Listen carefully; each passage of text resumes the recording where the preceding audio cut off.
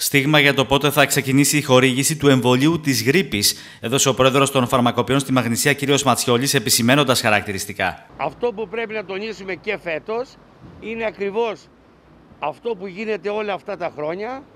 Από 1η Οκτωβρίου, λογικά, αρχίζει η περίοδος του αντιγρυπικού εμβολιασμού.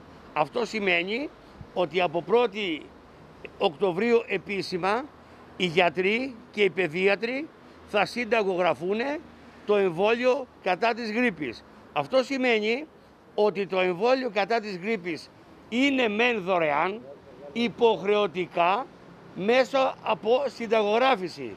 Δεν χορηγείται ελεύθερα.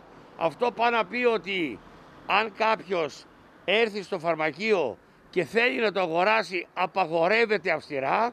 Παρένθεση, όπως και αυστηρά απαγορεύεται να δίνουν τα φαρμακεία και το τηρούμε ευλαβικά τις αντιβιώσεις, κλείνουμε την παρένθεση, ε, που σημαίνει λοιπόν ότι και φέτος οι Έλληνες πολίτες μικρής και μεγάλης ηλικίας μέσω της ηλεκτρονικής συνταγογράφησης θα καταγραφούν ότι έχουν εμβολιαστεί με το εμβόλιο της γρήπης.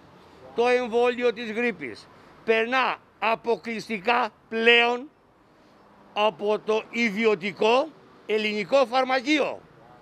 Το φαρμακείο της γειτονιάς, το οποίο και φέτος δωρεάν ασκεί τον εμβολιασμό μετά από πιστοποιημένα πλέον όλα τα μέλη του συλλόγου, του Πανελληνίου και του Φαρμακευτικού Συλλόγου Μαγνησίας εννοείται, έτσι, και κάναμε λοιπόν τον εμβολιασμό σε όλους τους πολίτες που είναι που το έχουν ανάγκη. Η ανάγκη ορίζεται από το θεράποντα ιατρό, ο οποίος και το συνταγογραφεί. Ε, εδώ βάζω πάλι μια παρένθεση. Μη υπάρχοντος του οικογενειακού γιατρού, θα πρέπει να βρεθεί ο γιατρός που θα το συνταγογραφήσει. Αυτό σημαίνει ότι πλέον το δωρεάν που λέει η πολιτεία είναι σχετικά δωρεάν.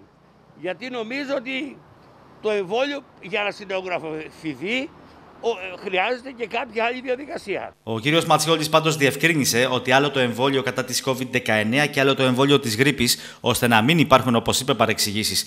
Άλλη δουλειά κάνει το ένα και άλλη το άλλο και είναι κάτι το οποίο πρέπει να ξεκαθαριστεί.